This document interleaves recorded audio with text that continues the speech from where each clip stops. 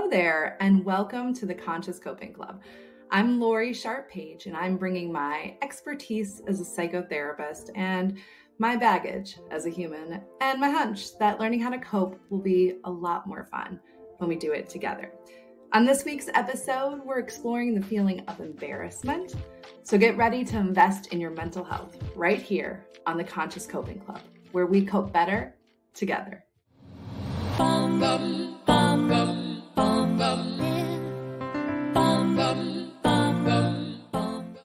Start by talking about a feeling I think that we all loathe embarrassment. Embarrassment is a powerful emotion, one that a lot of us, including myself, will do almost anything to avoid. But can embarrassment be avoided? Yes, sure, for a period of time you probably can, but at what cost? This is a story I want to share with you today about embarrassment and what the cost of avoiding it has entailed. Embarrassment is a complex emotion, a feeling that springs up when we least expect it. It often appears when we've stumbled either metaphorically or literally. And we find ourselves the focus of unwelcome attention or judgment from ourselves or others. In my own life, I've spent the better part of this last year tiptoeing around situations to avoid this potent feeling. And believe me, the cost of doing so has been quite high. I've missed out on opportunities, dodged experiences that might have enriched me or got me closer to my goals, and shied away from forming deeper connections. All because I was too afraid of that all too familiar hot flush of embarrassment. I was so fearful of it that I shut down and coped very ineffectively with it by just avoiding it. Does this sound familiar? Because I know it's not just me.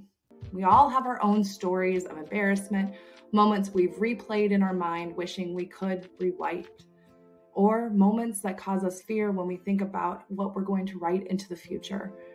And that can make it really hard to put yourself out there again. These stories often come with their own cost lost chances, skipped events, sidestepped interactions, all because we're scared of the potential of a moment of embarrassment. But what if we could know that we could tolerate whatever feeling we may have in the future? What if we leaned into the inherent discomfort that happens at times in our lives, holding them in regard instead of disdain? As I've learned in the past year, there's a value in these uncomfortable moments. When you don't have them, you don't go anywhere.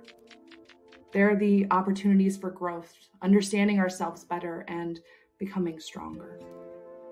And so, if you find yourself struggling to cope with embarrassment, or you just simply are like me and have great fear of it, join me in learning a more effective way of coping with embarrassment.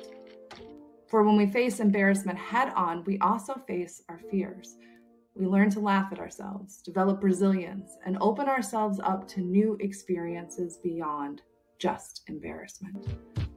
So, join me on this journey as we explore, understand, and ultimately learn to embrace the power within embarrassment. That's all for this episode of the Conscious Coping Club.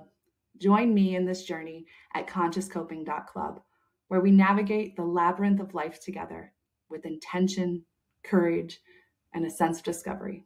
Make sure to like and follow for more great content. And until next time, don't just cope, consciously cope.